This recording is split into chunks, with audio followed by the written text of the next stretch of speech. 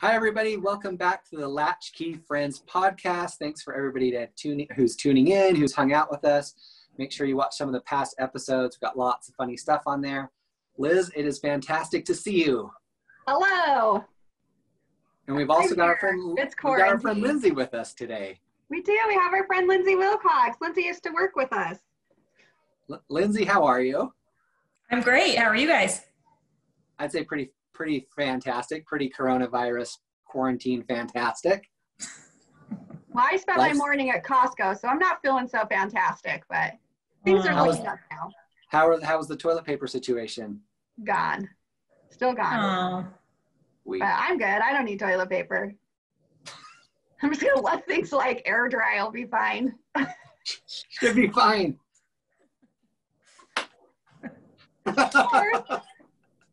Or, or just Yeah, hop in the shower. It's fine. Get a bidet. Every time. don't need it. every time you go, you got a shower. shower. I mean, it's So- right there. I guess you just hop in. Might as well. I'm like the cleanest person. So for me, like um, quarantine, everybody's trying to figure out how to be in their houses and not go crazy, and you kind of have to be able to find something that you like. Yeah. For me, the most peaceful place in the entire world is the bathtub. And Bathtub's you've the loved best. tubbies forever. You I have always, ever since I've known you. It's always I- you're always talking about tubbies. I've always loved the bathtub. Um, when we moved into our new house, like that was the number one requirement, is we could finally have a big tub. And then added bonus, there was a hot tub in our backyard. that People just left behind. Um, I tried to become a guy who knew how to figure out how to use a hot tub, and then we always came out like weird colors and smelling weird. So I've kind of given up on the hot tub. The regular tub is still still fantastic. Is your hot tub working at all, or have you emptied it? I've emptied it right now. Maybe if we get desperate here through this thing, I'm gonna put it back on. For right now, it's just the the bathroom bathtub. That's where I watch my Dutch soap operas and and have a good cry. Always nice. Lindsay, So, yeah, that reminds me that you had a hot tub growing up. It was a very unique hot tub. so Lindsay, where did you grow up? You're not a Utahn. I am not a Utahan. I am an Idahoan. So I grew up in a small town about 15 minutes north of Rexburg. Most people know where Rexburg is because of BYU, Idaho, or they see it on their way to Yellowstone. So I grew up in a small town called St. Anthony. Very nice. Is St. Anthony like Preston, Idaho? Are we thinking Napoleon Dynamite here? How's it? What little town? It's smaller than Preston, actually, but fun fact, it has a Big J's, just like um, just like Preston does when they go to Big J's and they get that shake. We had a Big J's. They were owned by the same people, uh, wow. and it's still there. That's where I got my pizza bombs, which is another word for a calzone. I don't know why it's called. A, I didn't know they were called pizza bombs. Well, they are in St. Anthony. That's what they call them, but it's a calzone. Do you watch Napoleon Dynamite and think, "Yep, that's how I grew up"? I watch Napoleon Dynamite and I think I'm a embarrassed that people think this is funny. Ooh, It's not funny to me, or at least it wasn't funny the first time I saw it, especially the part where the guy shoots the cow while the kids are on the bus. I laughed really hard at that. I oh, the second time I watched it, I laughed really hard, but the first time I watched it, I went, "This is making fun of my life." This is and and now I watch it and I'm like, okay, I can laugh about this. This is okay. But at the time, it was not funny. to- Maybe had a little PTSD happen. yeah, that's a good way to describe that. Yeah. A little too real, a little too Yeah. close to home. So in in St. Anthony, Idaho, you were living the sweet life where you had a hot tub, and I'd love to hear more about your hot tub.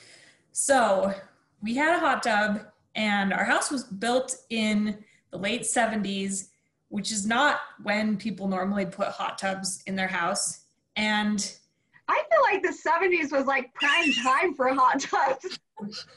I feel like that's the waterbed hot tub sauna era.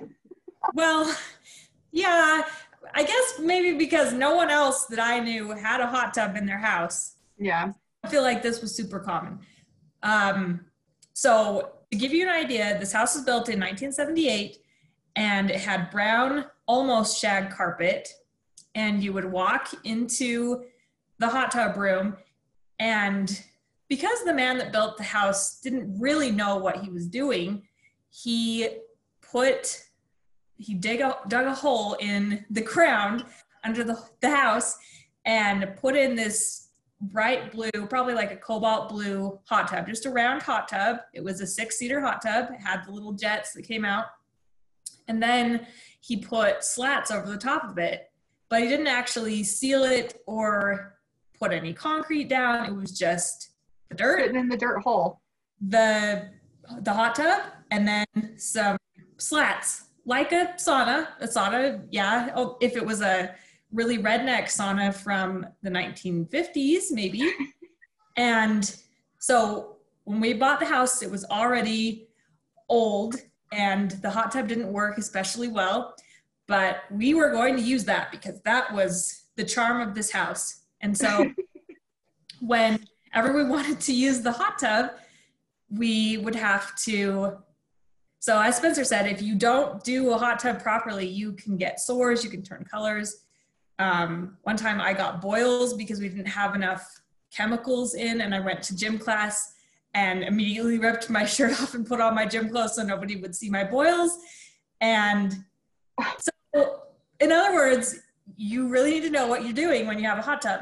And so it was this big process where my dad would pull out this bucket of chemicals and it took hours to fill up this hot tub because he would have to keep testing the chlorine and make sure that there was enough chlorine and it smelled like an aquarium or a giant swimming pool in our house whenever the hot tub was going. So, because it was so much work, he started just leaving the water in the hot tub. And because they hadn't finished the ground around the hot tub, Idaho is prime hobo spider territory. And Pause. so Pause. Pause. Explain to us what a hobo spider is. So it's a brown spider. It's poisonous when it bites you. And it's probably, I would say, the biggest ones can be three centimeters. Um, That's big. it's just A big brown spider. And as I mentioned before, we had brown, almost shag carpet. And so Oh, Lindsay! you didn't know that the hobo spiders were there until it was Oh all man. you.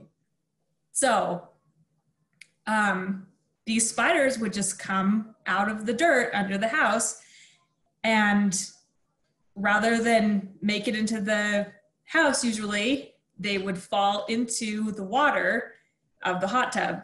And so, my dad, whenever we wanted to get into the hot tub, we had this big wooden cover over the top of it and it had two pieces and he would lift one piece and then lift the other piece and stack them up against the wall and then we would save these five gallon ice cream buckets the ones like the Farr's buckets with the handles Yeah. and he would start draining it and we would take the ice cream buckets and scoop the water out and scoop all the spiders out and wash them down the drain in the shower right next to the hot tub because it was also there was a toilet and a shower right next to it Liz doesn't need to use a mentioned the toilet. She says next to the hot tub. it was Bet you didn't need toilet paper. It it did have toilet paper. Yeah, that's true. My parents could just walk downstairs, dip in the hot tub with they run out of toilet paper and then Yeah. pull a few spiders off and they'd be fine. How many spiders are we talking that you would have to scoop out? Oh, I'd say at least 30. Oh, So okay. so do you just- like hot tubs now? No, no, of course not. I uh, I will go to our rec center and I'll sit in the hot tub for a minute. But usually, if about five people are in the hot tub, I get out of the hot tub because I don't know where they've been and I want to be in my own juicy hot tub, and then I will just hop out. What's your take on hobo spiders these days? I feel really glad that I now live in Utah and no one seems to know what that is. And the other thing that surprises people when I say hobo spiders, they think of homeless people. So, like hobos. So, if I say there were hobos in my hot tub, people think, you know. So, there were often 30 homeless people in my hot tub. exactly, it gets a little bit confusing, but but now I don't have to deal with those. I don't think I've seen a hobo spider since I lived here, so that's one thing I definitely don't miss about Idaho. Do your parents still use the hot tub?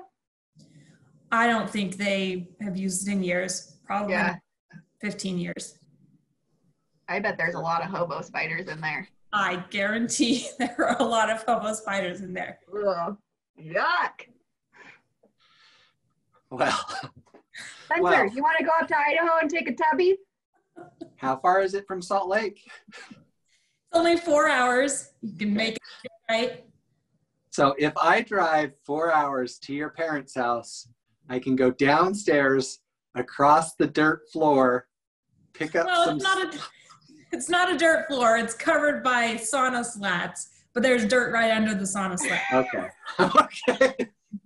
But I yes, know. you, I can walk across the slats that are right above the earth. yes, I can I can release remove some of those slats, just get the big jug of of spiders out of there, warm up the water, take a, a, a dip in there, and then and then shower off, and then and then go on my way. Yep. Yes, I'm sold. Do your parents do your parents rent out the place? no, Do they Airbnb the hot tub? no. I'm quite sure it's not up to code. So Well, this has been fantastic, Liz. Any follow up questions from you? I I don't have any other follow up questions. No, I'm good. I feel like I, I have a really good image of, of Lindsay's hot tub experience growing up. Okay. Well, if anybody has any spider problems in your home, Lindsay's not afraid. Just give her a call. Um, you can uh, you can follow her on her website, newlysharpenedpencils.com, yes, where there are no, as of yet no stories about the hobo spiders, but I'm sure there could be soon. I yeah, of course I can definitely tell the story in my own words on that website at some point, and I may even have pictures of the hot tub. We'll Oh, share them on there. And if you have any pictures of the hot tub, share them with us so that all of our followers can see it on at Latchkey Friends on all of the social media channels or latchkeyfriends.com. Lindsay Wilcox, you're pretty much the best. Thanks. Thanks so much for being with us, Liz. Thanks for hosting, and we will have another show for you guys soon. Thanks, everybody.